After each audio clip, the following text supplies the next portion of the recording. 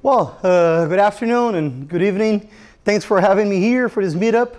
Uh, my name is Bernardo David, and I'm an assistant professor at the Tokyo Institute of Technology in the IOHK Collaborative Research Chair on Blockchains. Uh, as part of our, of our work with IOHK and on the Cardano project, we have developed in a partnership with Edinburgh University and University of Connecticut in the US, the family of Ouroboros protocols, which are used as the main consensus protocols in the Cardano platform. So what is so special about these protocols? What makes it different from Bitcoin and from other blockchains that have been proposed in this space? Well, the main feature we have is that we are based on proof of stake or POS instead of proof of work or POW. And in this talk, I would like to tell you a little bit about the advantages of working with POS instead of POW and how we make sure this is actually secure.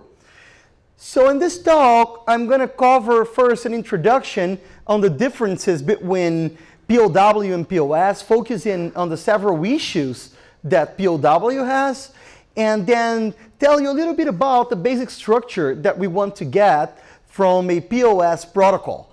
Then I'm going to delve into the Ouroboros protocol, which was the first provably secure POS consensus protocol based on blockchains, and show you the differences between this and the next level, which is Ouroboros Praos, the next paper we published this year in Eurocrypt 2018, showing how to improve both the efficiency and security of the original Ouroboros protocol.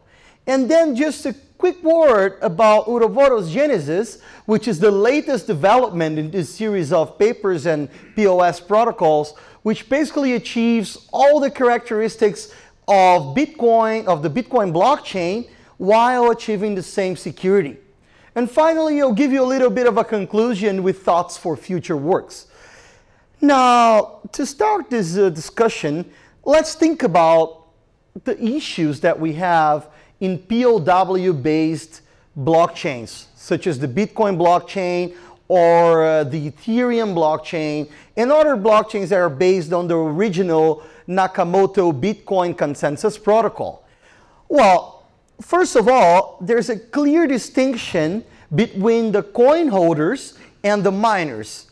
In any proof of work based system, you have people who have actually invested their money in the system by buying tokens or even mining tokens occasionally, and the professional miners, the people running professional mining farms where they generate new blocks and obtain some kind of profit from generating these new blocks. What happens is that the people who are generating new blocks, who are running the mining farms, are not necessarily the same people who have invested their money on the blockchain, on the POW-based system. If you invest money on that, it doesn't mean you can generate the next blocks. It doesn't mean you can steer the evolution of the system. It doesn't mean that you have any control on the working of that blockchain. The people who actually control how the system works are the miners who can simply decide to run a 51% attack, destroy the blockchain, or make it grow uh, make policy changes, changing the format of the protocol, hard forks, and so on. So there's a clear distinction between who controls the blockchain and who actually invested money on the blockchain. That happens with POW, with all the POW-based systems. Another problem is there are diminishing rewards for mining. We know that every many years the rewards for mining a new block are halved, so you cut in half the rewards for the miners. And that takes away their incentive for actually spending huge amounts of electric energy and of money in buying specialized hardware that makes the systems work. So what happens when these rewards reach zero or close to zero, when there's no more incentive for people to mine blocks? What happens to those systems? Nobody really knows. And more than separating the control between the miners and the people who invested money on the system, the control is not only separate from the investors, but it's also very centralized. We now know that the whole Bitcoin network is controlled by a handful of Chinese mining pools. So if the Great Firewall of China decides to close on those miners, or if they come obliged by the Chinese government to take certain actions, that could be the downfall of the Bitcoin system, for example. So it's not nice to actually have a decentralized system that is controlled by a very centralized pool of people. These are the main issues that we can find in current POW-based systems. And then we think, what could we do to solve those issues? Well, an obvious direction is shifting from POW to other mechanisms to achieving blockchain-based consensus.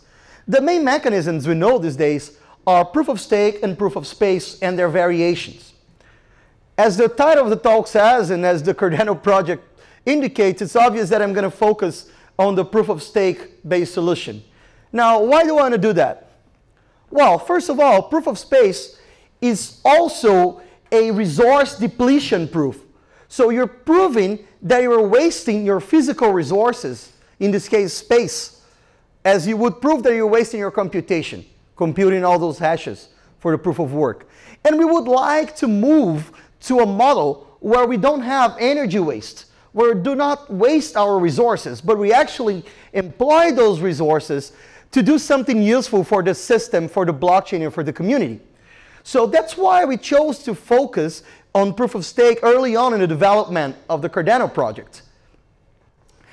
Now let's compare a little bit of the advantages and the disadvantages of proof of work and proof of stake. First of all, with proof of work, you have something like if you have more resources, if you have more hardware, if you have more electric energy, you have more control over the blockchain. If I, if I have enough electric energy and specialized hardware to mine more than 50% of the other people in the Bitcoin network, I can take it over. I can take over any other uh, proof of work based scheme. So the more resources you have, the more control you have. The more physical resources, mind you, not more financial resources on the system, not more investment, but the more physical resources of computation. It generates a huge energy waste. There are estimates that the whole Bitcoin mining pools spend more energy than the whole country of the Netherlands per day in mining blocks, which is not good. We do, we do not want to spend precious natural resources and generate more pollution by running our blockchains. And also, as I said before, it can become quite centralized. On the other hand, in proof of stake, the more investment you have on the system, the more money you invest on the blockchain itself, the more you can control the system. So if you think some blockchain is good, if you think Cardano is a good project, and you go and invest your hard-earned money on that project, you can actually be sure that you're steering the way the project is going, and that by investing that, you get the voting power, let's say, to make the system work, as opposed to having some random miner control the future of your investment. Also, it's energy efficient. All you need to generate a block in a proof of stake based system is a signature and a couple of cryptographic operations that spend no data or energy at all. In fact, I could be running the Cardano system on my phone. The protocol is so lightweight that not even on my phone, this is a good phone, it could be running that on a, on an old phone, on a Raspberry, on one of the first Raspberries. It's a very lightweight system. So you do not waste resources unnecessarily.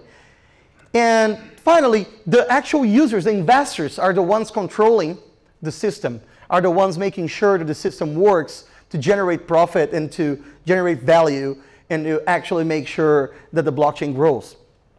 Now, I've said all those good things about proof of stake, so let's get into a little bit of the basics of what you want from a proof of stake system and how it should work on a high level description. Well, I'm sorry for the slides. Whoever is into the Ghibli, the Japanese studio called uh, Ghibli Studios pictures might recognize Totoro and Porco and Chihiro. I had a very bumpy flight to the Netherlands, so I couldn't adjust the slides to something more Dutch friendly, but uh, I hope this will go.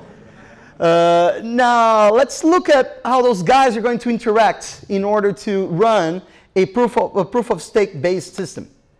Now, we see that Totoro, the big mythical creature here, has nine coins.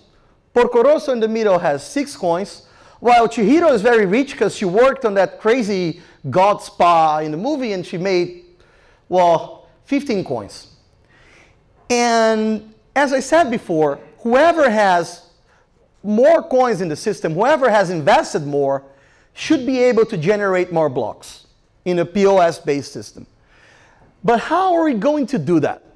Well, we're going to run a lottery. We're going to run a lottery where the people who have more coins have a higher probability of winning. So Chihiro, with her 15 coins to the right, should have a much higher probability of winning this lottery than Porco Rosso. And that's how the lottery is going to work. In order to generate a block, we run the lottery. Let's say it selected Chihiro. So she gets to generate the next block. And that's what she does. So generates the next block, and now we need to figure out who is generating the next block after this one, block two. So we run the lottery, it selected Totoro to the left, and he generates block B2. And we keep running this lottery every time we want the blockchain to grow. So instead of solving a proof of work puzzle, we are running a lottery that selects people who have money invested in the system and they have a higher probability of winning that lottery the more money they have invested. Yes? Who runs the lottery? Exactly. That's a very good question. And I, that's what I'm going to tell you in the next few slides. So there are several ways to run the lottery. And nobody should be running the lottery centralizedly because we want a decentralized system. So we're going to use cryptography to make the users of the system themselves run the lottery. If you think of it, those are techniques that come from the early 80s, and we have, of course, largely improved on them in order to make something that is efficient enough for something as large as Cardano. But that's a very good question. You cannot have a single authority or a single entity running that lottery. It must be decentralized. But now let, us assume the lottery comes from the sky. The sun gives you the lottery, and that's how it works. And we keep running the lottery every time we want to grow this blockchain. Of course, Chihiro to the right is going to get elected more often. She's going to win the lottery more often than the other people because she has invested more. That's the first assumption we have. And repeat, we repeat this lottery over and over again for every, for every block. So this is a basic mechanism of proof of stake, whereas opposed to proof of work, we're running this lottery that by now we're assuming that comes from the sky. Now, just a little bit of terminology. I guess you're going to read that in the Cardano documents and in the forums. The person who generates a block is called in our protocol a slot leader. So for every block to be generated, we say we have a time slot.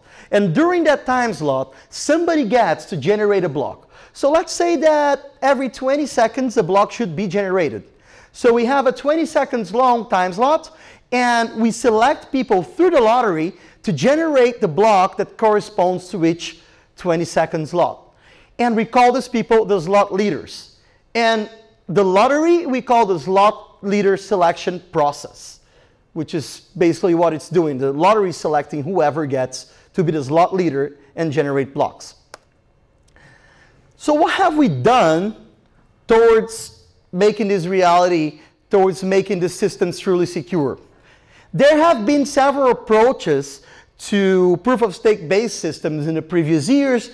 Those systems have been discussed in forums. People have proposed ideas on how to implement them, but they had one really big problem.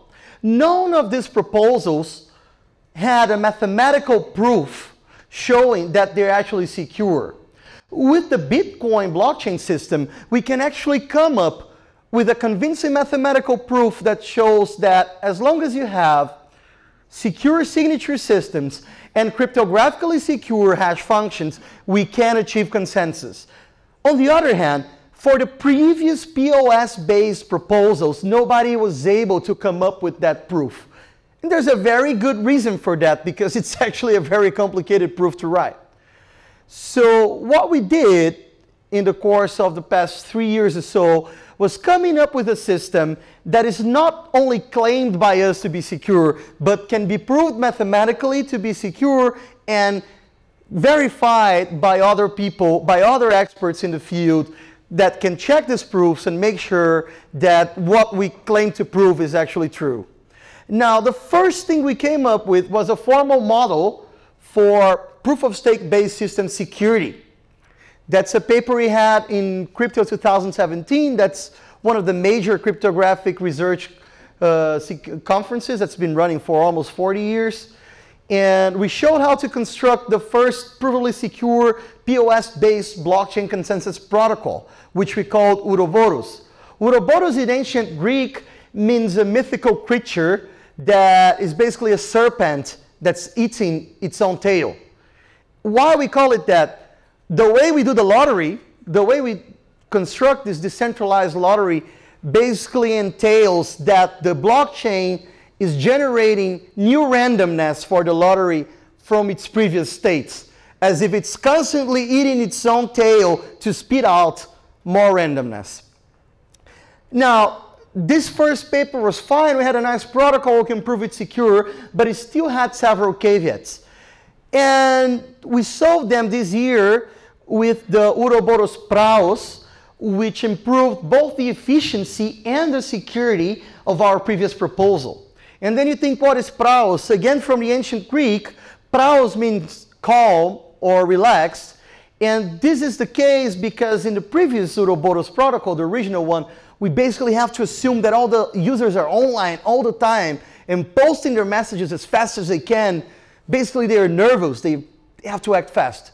Now, with the new proposal with Ouroboros Praos, we can have users there in a more real-world setting where they basically go online and offline at times. You mean, I mean, you're not going to keep your cell phone or your computer running 24/7 just to keep Cardano running. So we have found out a way to keep security while achieving this more real-world uh, scenario. And the current protocol using Cardano is still the first Ouroboros, and we have plans in motion to move it to the next version of Ouroboros Praos. And as I'm going to tell you in the end of this talk, we actually came up with an even better version called Ouroboros Genesis. Now, what is the deal with Ouroboros, the original protocol? First, we have to assume synchronicity, which means that we assume that everybody, wherever in the world they are, they have synchronized clocks. Think of one of those movies when people are robbing banks, they synchronize their clocks and they know when to get out or they know when to send a message. It's the same thing. We assume that everybody has their computers running some synchronized clock so they know when to send their messages for, for making the lottery work and for generating blocks.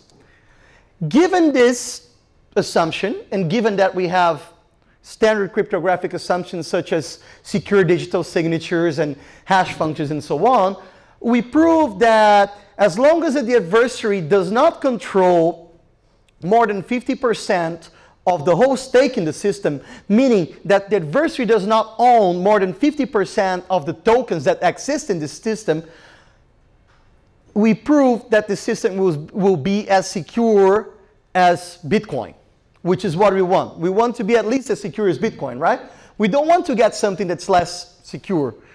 And we also need to assume, of course, that the, the adversary, in this case, does not get to automatically corrupt people. What does this mean? This means basically that once your adversary hacks into your computer, steals your secret keys, and starts impersonating you on the, on the protocol, he will need to wait a little bit until he hacks into the next computer.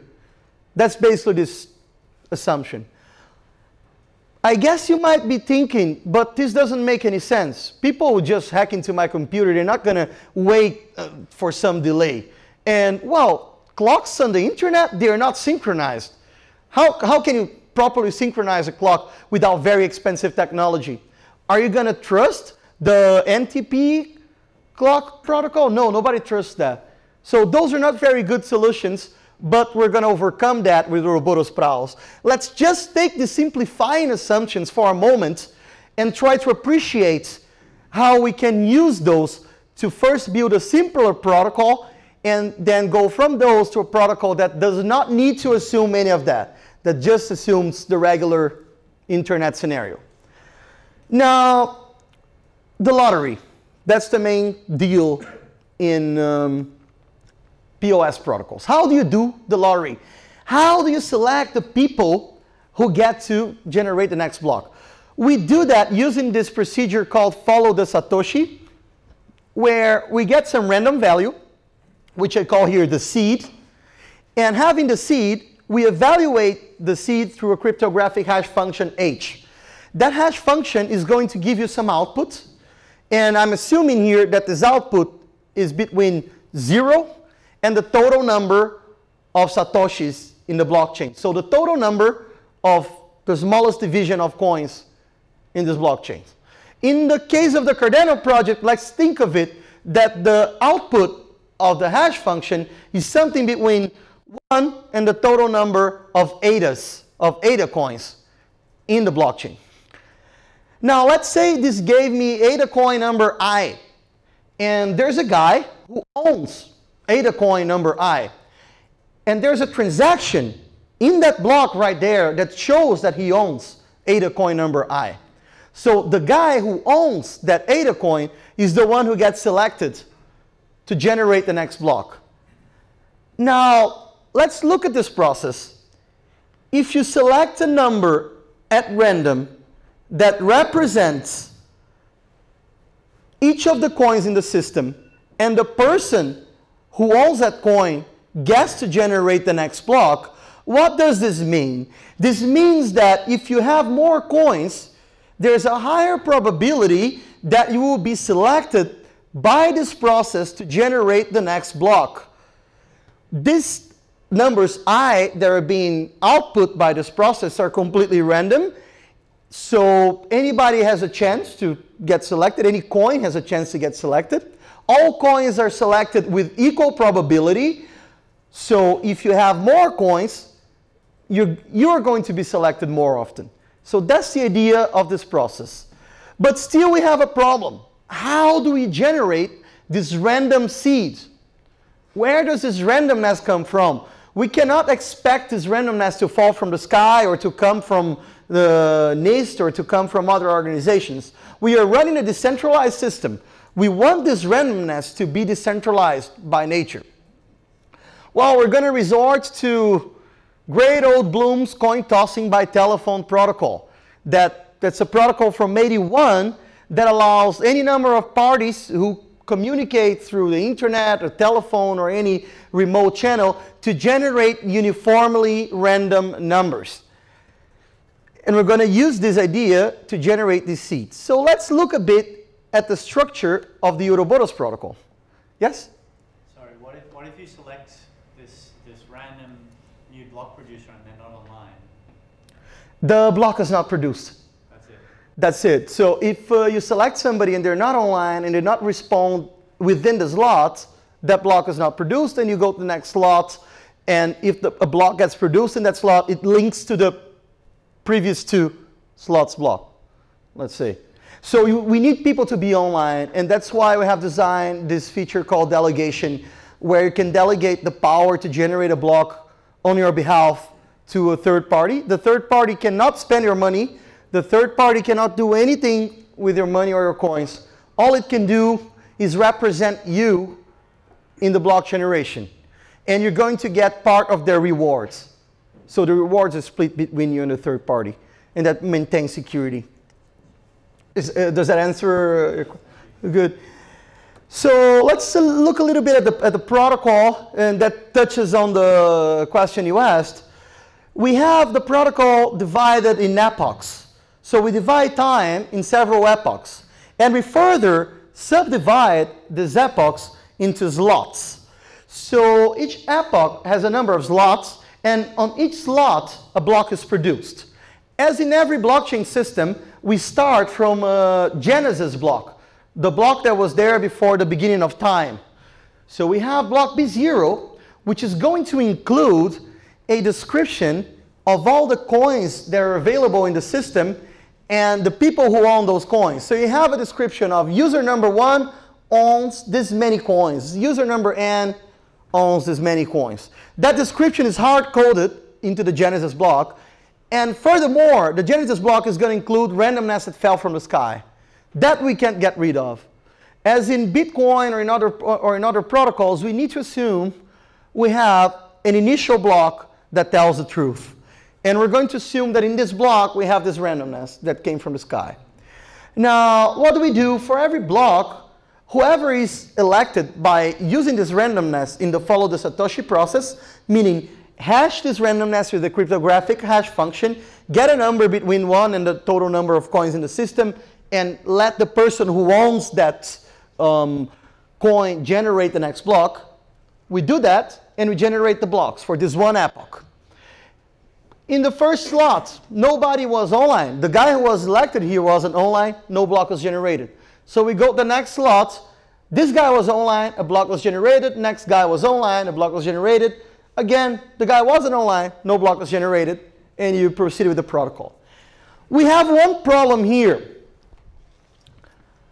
We are using this list of people who own coins and this fixed randomness to select the people who generate the next block. But people are going to be conducting transactions and exchanging coins between themselves. So this list is going to become out of date.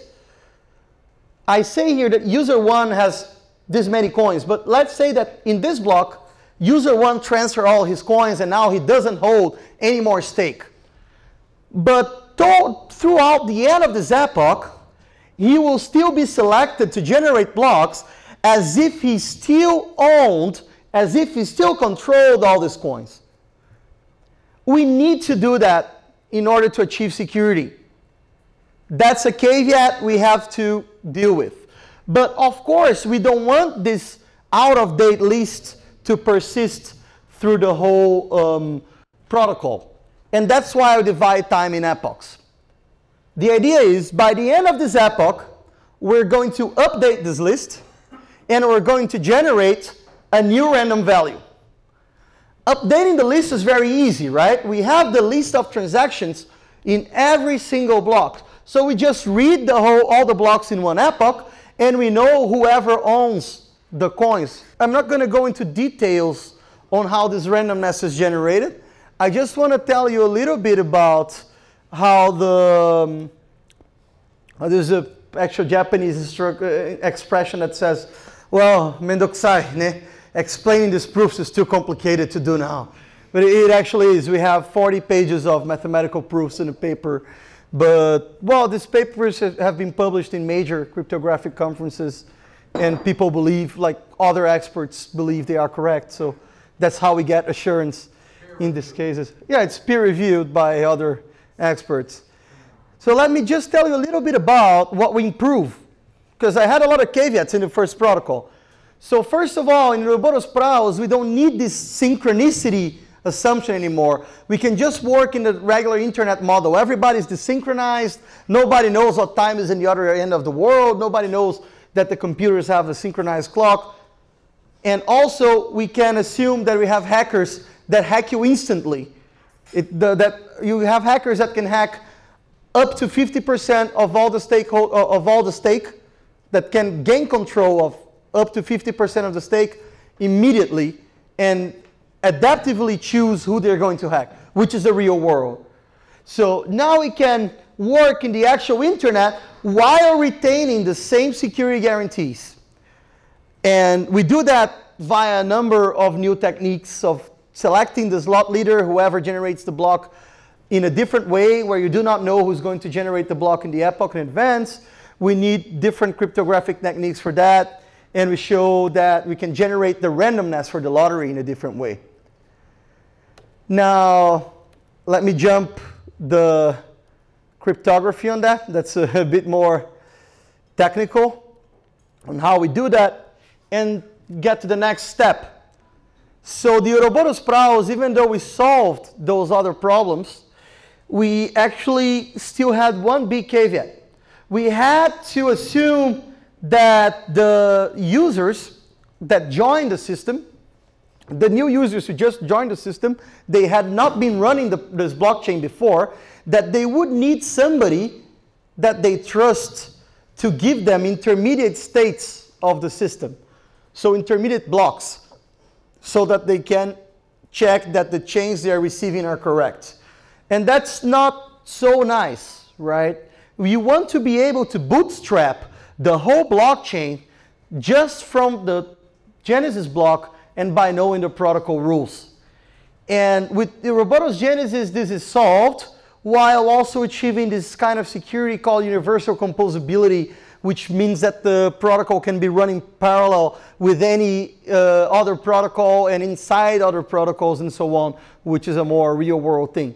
The universal composability for this case is achieved basically by adapting the techniques from Ouroboros, Praos, and the security without checkpoints, meaning you block, you bootstrap just from the Genesis block, is achieved by using a different chain selection rule. So usually you use the longest chain rule where you pick the chain that has the most blocks. And that's easier to analyze mathematically and so on, but that doesn't give you the best guarantees. In Ouroboros Genesis, there's a more sophisticated uh, chain selection rule that allows you to bootstrap directly from the Genesis block without intermediate trusted checkpoints. So that's where we are right now. So basically we are at the same security level of Bitcoin while using a tiny fraction of the energy and achieving much more transactions per second. The benchmarks as far as I know, are getting to at least 100 transactions per second for the Ouroboros protocols, while Bitcoin does six transactions per second. And this 100 transactions per second was a benchmark run on a not optimized implementation two years ago or so. So I'm pretty sure that the current Cardano implementation is even better than what I used as a researcher to evaluate the, the performance. Now, this is basically the message I would like to leave today, that we can get the same security as Bitcoin with much less energy and while achieving better performance. And we, how we do that by using a lot of cryptographic techniques. They're well understood and most importantly, mathematically proven to be correct. So it's not just me standing here and promising that this is secure. We actually have mathematical proofs that this is secure, and those proofs have been checked by the best experts in the world who are in the program committees that select papers who get published in these conferences through a very strict peer review process. And if you're interested in more details about how these protocols work, of course, you're very welcome to send me an email and also take a look at our papers, which are all publicly available in the ePrint server from the International Association for, for Cryptologic Research. Uh, we have all the original Ouroboros, Ouroboros Praos, and Ouroboros Genesis papers publicly available at these addresses. And we're always open to answering questions here or by email or by pigeon carriage, whatever you want. I'm very happy to talk about these protocols and to answer any concerns you might have. So that's it. Thanks for your attention. Thanks for having me here in Rotterdam.